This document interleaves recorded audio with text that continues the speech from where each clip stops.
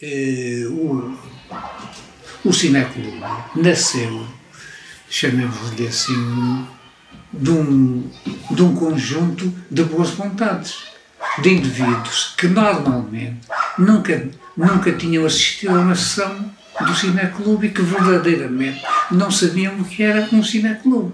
Quer dizer, quando, quer dizer, quando se começou a falar em montar o Cineclube, a maioria das pessoas, portanto, que, que constituíram a chamada comissão organizadora, não, nunca tinham assistido a nenhuma sessão cineclubista. O único indivíduo que, efetivamente, tinha um, um, um relativamente, um, um, relativo passado do cineclube era o, Saco, o Dr. Manuel Sá Correia, que quando andou a estudar no Porto foi sócio do cineclube do Porto, de resto, mais, de resto, mais ninguém.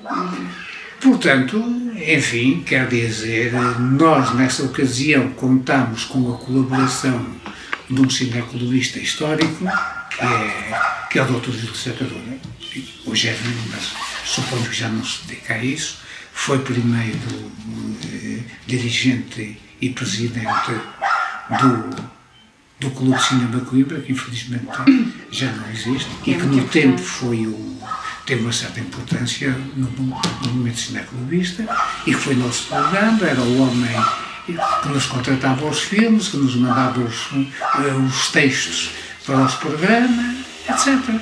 Mas, mas, mas, e, e agora que é o mas, eh, houve muitas pessoas que estavam interessadas num cineclube. Outras estavam interessadas num cineclube para outros, para outros fins políticos. Uhum. Felizmente, felizmente que essa que essa, esse cunho marcadamente político nunca, felizmente, nunca, nunca, teve, nunca teve implantação na história do Cineclube de Viseu. Ao contrário de outros cineclubes que, enfim, que no tempo eram marcadamente pró para determinada cor política, não, no, desculpa, não era de esquerda, porque eu considero muito de esquerda, não é? Quer dizer, simplesmente quer, estavam, estavam, estavam, eh, eh, chamemos-lhe assim, eh, eh portanto, eh, eh, sub, submetidos a uma determinada problemática política, que é, portanto, que nós achamos cor política, não é? Portanto, dos partidos. Enfim, partidos, partidos que não havia, partidos que efetivamente não havia cá em Portugal, a não ser o Partido Comunista.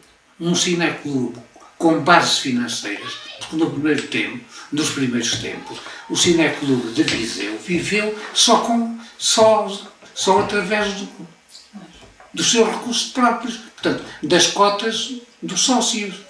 Eh, portanto, nessa ocasião, nessa ocasião, no Sino Rocio havia eh, 80% talvez do, do, Não sei se chegou a conhecer o Sino Rocio. Não. O Sino Rocio tinha tinha segunda plateia, primeira plateia tinha poltronas. Portanto, na primeira plateia e nas poltronas, 80% da lotação estava sempre tomada, quer dizer, as pessoas sentavam-se nos mesmos lugares, havia lugares cativos. Portanto, o, o Sr. Dr. Fulano Tal, Humberto Liz ou não sei o quê, tinha o seu lugar e, portanto, até meia hora ou, ou não sei o quê da, da, da, do início das sessões, o, os lugares eram-lhe reservados.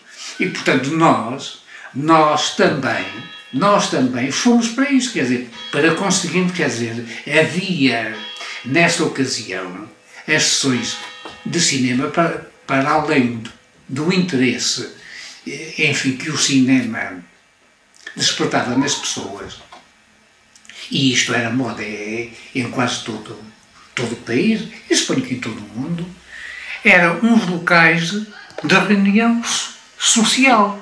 Ainda não, ainda não, ainda não tinha aparecido da televisão e, e portanto, as pessoas eh, reuniam-se nos, nos cinemas e iam vestidas com os seus melhores fatinhos com os seus chamados fatinhos domingueiros. O humor britânico, depois passamos para, para, para o Charlot, que na opinião dos indicadores devia ser aquele que inaugurava, e depois, como as pessoas diziam, mas estes gajos só levam filmes que a gente já viu, resolvemos ter o atrevimento de trazer o, o filme, o filme do, do Marcel Carnet, Os Trovadores Malditos. E, e, quase, e quase que íamos estragando o, o caldo, porque, porque esse filme, não sei se se conhece a hum. história dos Trovadores Malditos, é um filme muito poético e tal, não sei o que mais.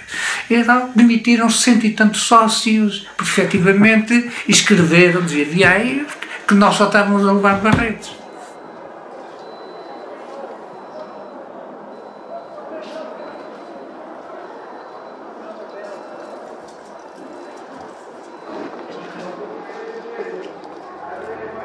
Do Jorge Sena.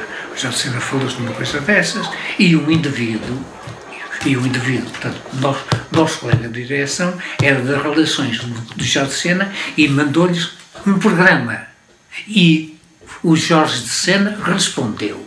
Não, não sei se essa carta é, figura dos arquivos do Cinéculo foi daquelas, daqueles documentos que se perderam, que se hum. perderam, em que, em que o Jorge de Sena, em que o Jorge de Sena vinha a tecer elogios à ação cultural do, do Cineclube. Isso também deu uma celeuma muito grande, porque efetivamente havia, o, havia aqui uns, uns, chamados jornalistas correspondentes dos jornais que, que, que, que, que para quem era, para, para quem era monstruoso o Cineclube preocupar-se com, com a literacia, não é? E, efetivamente, havia eles, é, os problemas do Cineclube são demasiadamente intelectuais e, e não sei mais. Portanto, parece, parece, que, parece que nessa primeira fase, isto, enfim, sem, sem, sem, sem, sem qualquer live da vaidade, procurou-se sempre fazer uma cultura de base, de base.